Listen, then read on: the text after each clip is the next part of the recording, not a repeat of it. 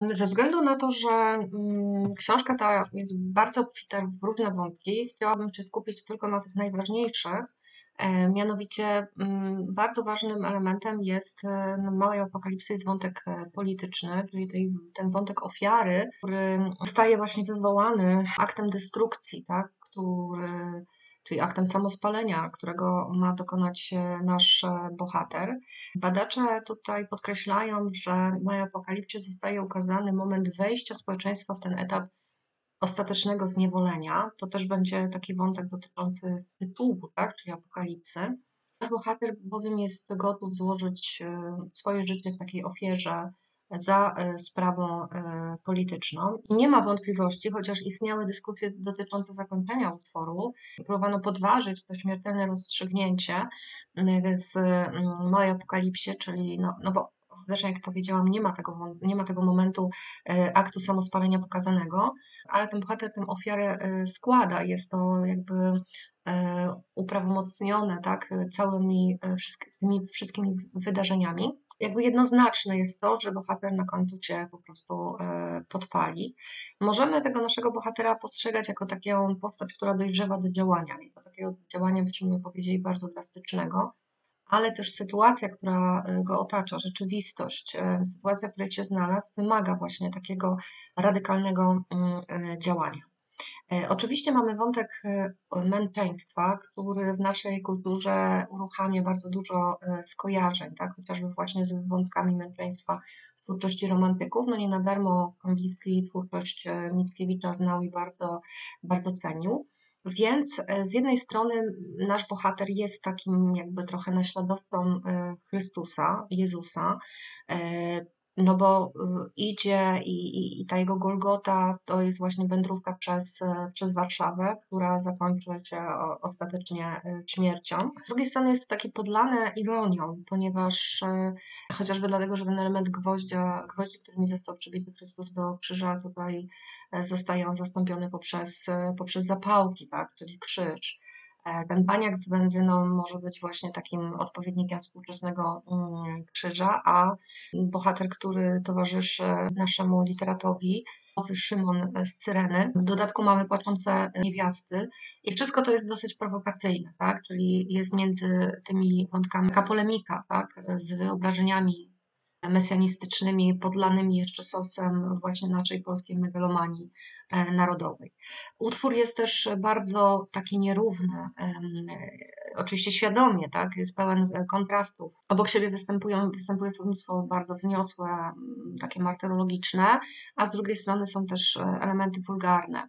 E, ponadto groteskowe są oczywiście wydarzenia, tak, wspomnienia nawet naszego, naszego bohatera, a także różne jak gdyby takie wtrącenia, tak, które pokazują e, rodzaj e, działalności naszego bohatera e, przed owego, owego wydarzenia, które macie, macie tutaj odbyć. Trochę też jest tak, że nasz bohater nie chce tej śmierci, ma nadzieję, że los go ułaskawi. Też prowokuje tutaj niskotecznie, e, na przykład e, kiedy zostaje zatrzymany przez patrol, patrol milicji, mówi w utworze tak, mignęła mi myśl, że gdybym został aresztowany, to problem rozwiązałby się samoczynnie. To też jest wyjście, nawet w pewien sposób honorowy, tak, że on by wolałby na przykład taką śmierć dokonaną, tak, zadany mu cios przez kogoś, przez kogoś innego, niż śmierć z własnej, z własnej ręki. Kolejny wątek, który tutaj się pojawia, to na pewno wątek funkcjonowania właśnie artystów w społeczności mm, takiej socjalizmu. Przede wszystkim pierwszą taką postacią będzie Rycio y, Schmidt, y, który w wypowiedziach y, naszego bohatera jest wręcz piętnowany, bo nasz Rysio to właśnie ten, który przynosi E, narratorowi tak, i bohaterowi opowieści ten rozkaz, e, żeby dokonać e, owego aktu samospalenia. A Rysio kończy, jak wiemy, w szpitalu pod respiratorem. Rysio Schmidt to jest taki bohater, który się całkiem nieźle urządził w, w tej rzeczywistości, ponieważ ma cały czas profity ze sprzedaży kolejnych, e, kolejnych książek.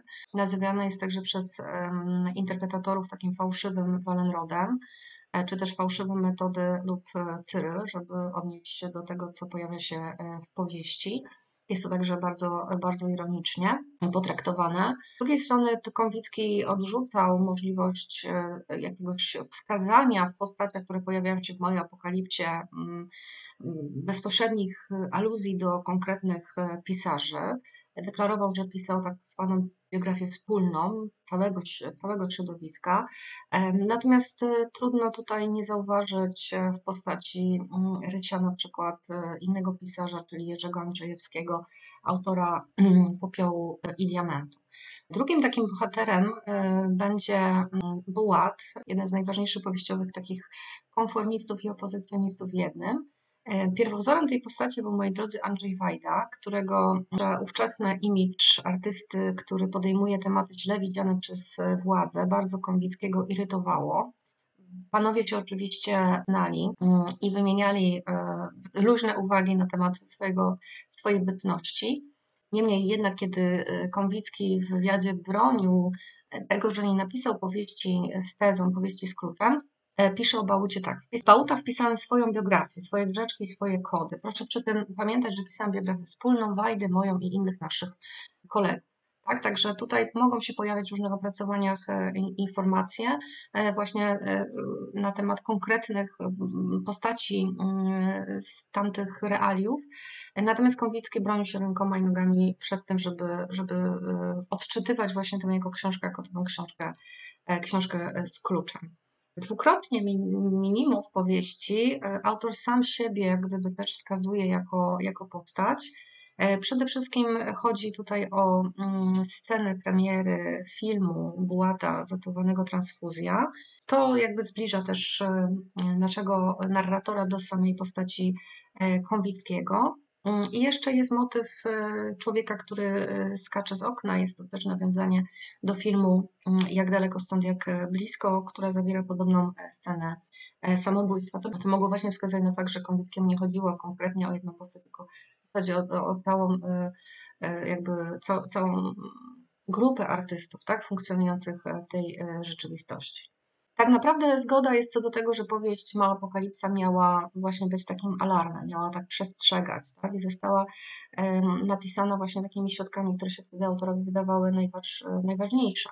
Oczywiście nie wszyscy tę książkę przyjęli e, z aprobatą, nie wszyscy też zgadzali się z diagnozą realiów e, dokonaną przez Konwickiego.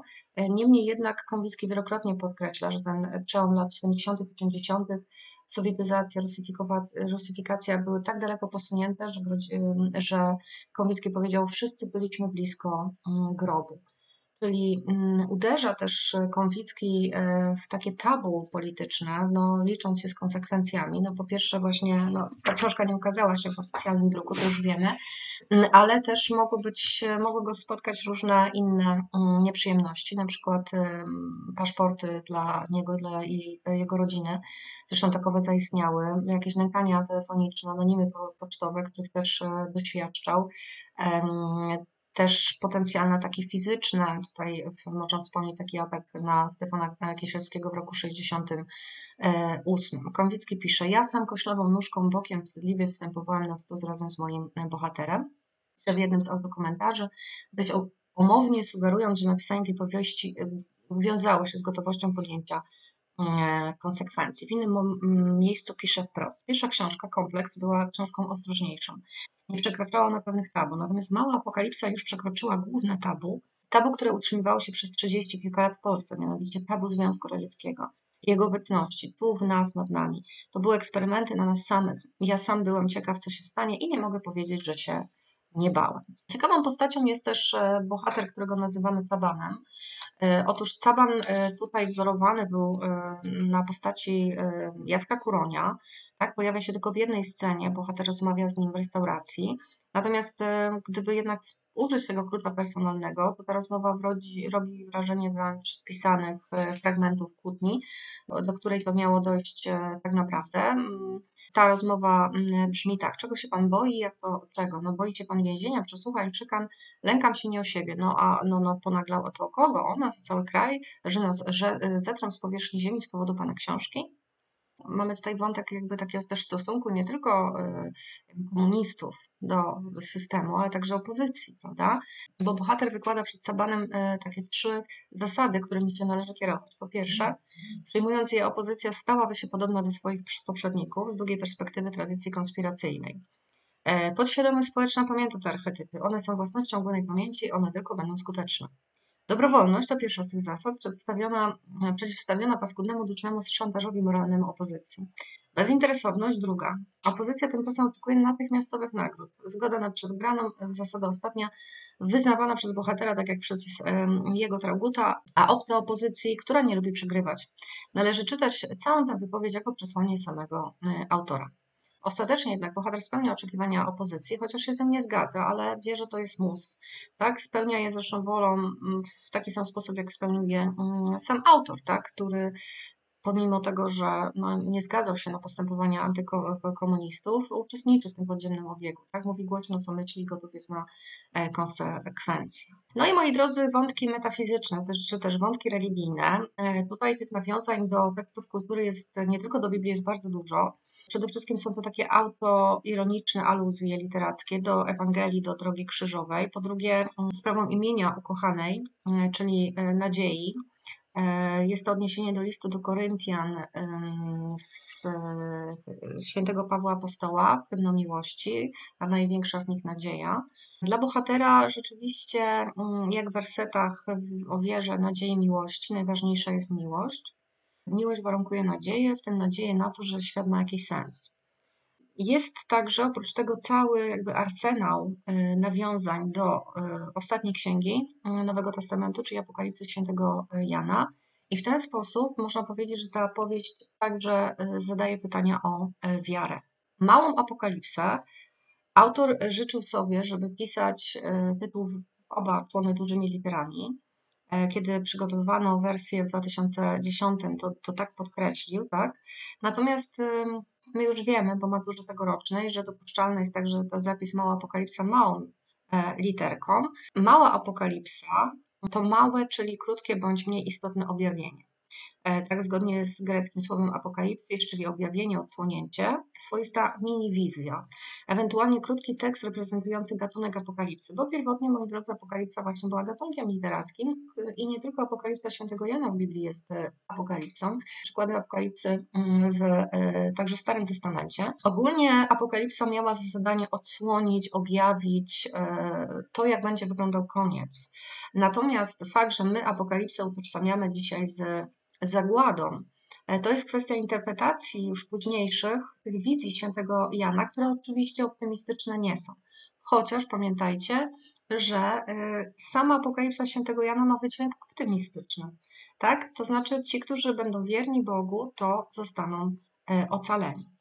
W tym sensie u Konwickiego można powiedzieć, że mamy do czynienia z dwoma znaczeniami apokalipsy. Są taką apokalipsą w kontekście zagłady, tak, czyli tego, co ma się stać ze światem, tego, co się ma stać z naszym bohaterem, ale z drugiej strony jest to pewnego rodzaju, tak jak mówiłam, też przestrog, tak, czyli można to potraktować właśnie jako takie objawienie tego, co się może stać. Wizja końca w tym takim węższym znaczeniu, czyli jakby jest to mała apokalipsa. Dlaczego mała? Dlatego, że ona jest adekwatna, moi drodzy, do tego świata, do jego kondycji, tak, do jego skali. Mm, ten świat jest, y, nawet nie zasługuje na to, żeby mieć tę apokalipsę właśnie taką wielką, ogromną. Mm, czyli koniec mniejszego świata, koniec polskiego świata, koniec mego osobistego świata. Apokalipsa pierwotnie była także proroctwem i w utworze również mamy taką, e, takie trzy proroctwa, e, czyli wypowiedzi, które są zawarte w jakichś scenach, tak, albo nawet rozłożone na kilka scen. E, pierwsza zostaje wykrzyczona przez bohatera w knajpie, jest to przez proga, który mówi tak, ludzie rycze, Antychryst zstąpił na ziemię, skoczył kulawo sąsiedniej galaktyki. Może chciał gdzieś indziej, ale trafił do nas. Jakiś facet daje mi znaki. Tam jest toaleta, kolego za szatnią. A ja wznoszę obierając do góry. Ludzie, popatrzcie na siebie. Rozdzielił się na nas wszystkich i na mnie. Nie oczekujcie Antychrysta, bo on już jest na ziemi. Antychryst rozcieńczony, rozdrobniony, zgranulowany. Mini Antychryst w każdym z was i we mnie. Tyradę, która ma miejsce w restauracji Paradyż, dopełnia rozmowie z nadzieją, e, już spokojnie nasz bohater, jakby z rezygnacją. Mówi tak, grzech przybrał ciało cnoty, zło włączyło się w nasze kody etyczne i stało się dobrem, fatalnym, rakowatym dobrem. Jeszcze później w szpitalu na ulicy Oczki cedzi wówczas już tylko do ciebie krótkie uwagi o epidemii wywołanej przez antychrysta pod postacią wirusa i wykłada definicję nowego współczesnego zła, które bierze się z miałkości, mówiąc nijakie, przesiąknięte nijakim daje zło. Drugą w utworze nową apokalipsą są konstatacje Jana. Jego imię jest oczywiście nieprzypadkowe, mm, choć wyrażone niezbornie ujmują syntetyczne podstawowe sensy powieściowe. Mówi tak. Zabłądziliśmy w wielkim lecie nikczemności narodów, pojedynczych ludzi, ziemia, totalny rozpad, nieustanna wieczna agonia, rozwlekła śmierć, planeta śmierci. A trzecią małą apokalipsą są wypowiedziane przez e, bohatera, narratora w finale rozpoznania olśnienie z poprzedniej nocy, które przez cały czas próbował sobie przypomnieć, że, to cytuję, to my, ludzie, ta płynąca znikąd donikąd rzeka materii biologicznej, stworzyliśmy Boga. Że istnieje coś takiego jak Bóg, ale powstał on niejako oddolnie, zbytem ulepionym z naszych fal elektromagnetycznych albo jakichś fal rozedrganych naszym cierpieniem, naszym rozpaczą, naszym gniewem. Boga tego stworzyliśmy w konkretnym celu ochrony ludzi przed złem, przed nami samymi. Są to słowa krzepiące dla potrzebujących sensu, dla e, chcących wierzyć e, w ten mm, sens, tak, jak gdyby Boga. Pocieszają, e, chociaż można to zrozumieć dosłownie i metaforycznie. W tym drugim wypadku Bóg byłby tylko konstruktem mm, ludzkości. Proroctwa składają się w mojej apokalipcie na wątek metafizyczny, który zagarnia, porządkuje sobie wątek polityczny. Trochę słuchajcie, jak w Mistrzu Małgorzacie, prawda? Że tam też mamy ten wątek Rosji, która zostaje jakby zostaje odwiedzona przez szatana jego świtę, ale także wątek, wątek metafizyczny. Y, na końcu chciałabym jeszcze parę słów powiedzieć na temat odbioru tej książki, e, ponieważ w tym pierwszym okresie, czyli do połowy roku 80., powieść wybrzmiewała jako dialog społeczny. Czytano też, moi drodzy, małą apokalipsę oczywiście jako antyutopię, czyli taką satyryczną wersję utopii, gatunku zarysowującego wzorowe modele ustrojów państwa, idealnie funkcjonującego społeczeństwa. Natomiast antyutopia jest oczywiście ośmieszaniem utopii, przewartościowaniem e, tych ideałów e, utopistów. No, najsłynniejsze utopie, no to chociażby Nowy Wspaniały Świat Aldusa Huxleya, czy rok 84, zresztą od tych wątków dotyczących tych telewizorów, prawda, tych obserwacji jest e, także sporo i można by było z rokiem 80 sobie to zestawić. W latach 90. wizja Polski z tego utworu się e, ewidentnie zdezaktualizowała i stała się już tylko obrazem, obrazem historycznym. Dlatego na przykład ja zdając maturę w 99 jeszcze tę książkę miałam. Ponad 20 lat e, Małej Apokalipsy nie było na liście lektur. Dzisiaj, moi drodzy, tę książkę czyta się zupełnie, e, zupełnie inaczej. Przede wszystkim jest dużo opracowań także, byśmy powiedzieli, feministycznych, tak? w które nie zostawiają, no słuchaj, nitki na Małej Apokalipsie, uważając, że jest to witny opis misoginii w literaturze, mówiąc przede wszystkim, że odbiorcami są wyłącznie e, mężczyźni, mężczyźni. Natomiast wyrażenia opisujące kobiety nie pozostawiają tutaj e, wiele e, do życzenia. Niespodziewanie, niestety, wątki Małej Apokalipsy zaktualizowały się w październiku 2017 roku, wykraczając właśnie poza te artystyczne granice świata, ponieważ pod Pałacem Kultury aktu samospalenia dokonał Piotr Szczęsny, tak nazywano go zwykłym szarym e, człowiekiem, a w listach, e, które pozostawił i w których wyjaśniał sens tego aktu, pisał, ten rząd wstrząsa podstawami naszej państwowości i funkcjonowania społeczeństwa. Natomiast większość społeczeństwa śpi, nie zwraca uwagi na to, co się dzieje i trzeba jest z tego snu obudzić. E, natomiast syn pana Piotra w rozmowie z redakcją Okopres Przyznał, że miejsce wybrane przez ojca kojarzą, kojarzy mu się z małą apokalipsą. Konwickiego czytał, dodała wdowa. Szczęsny, który dokonał tego aktu, to bardzo sugestywnie y, oparł się na także historii opisanej w y, Małej Apokalipsie. Dziękuję Wam bardzo za towarzyszenie mi dzisiaj i do zobaczenia.